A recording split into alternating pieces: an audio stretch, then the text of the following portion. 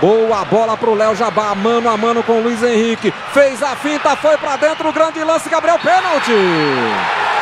Pênalti! Claramente agarrado o Gabriel Vasconcelos quando ia só ter o trabalho de empurrar a bola pro gol. Tá saindo o cartão amarelo pro zagueiro Felipe. E outra vez, que bola, hein? O Jabá teve muita calma drible, levantou a cabeça. Quando o Gabriel tá chegando, é atropelado pelo Felipe.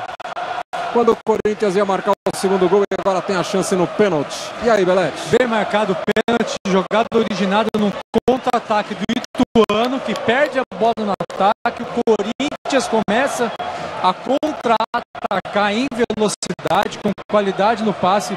Boa jogada pela direita, pênalti bem marcado.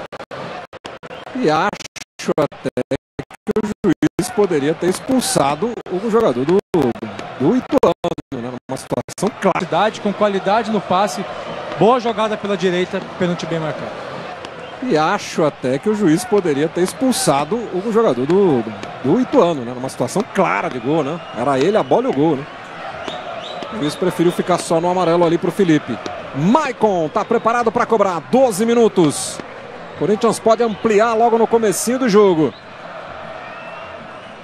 Thiago Luiz Escarascate autorizou. Lá vem Michael, perna esquerda, a batida! Gol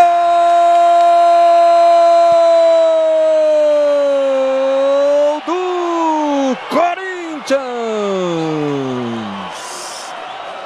Maicon, perna esquerda, forte, goleiro para um lado, bola para o outro. O Corinthians amplia.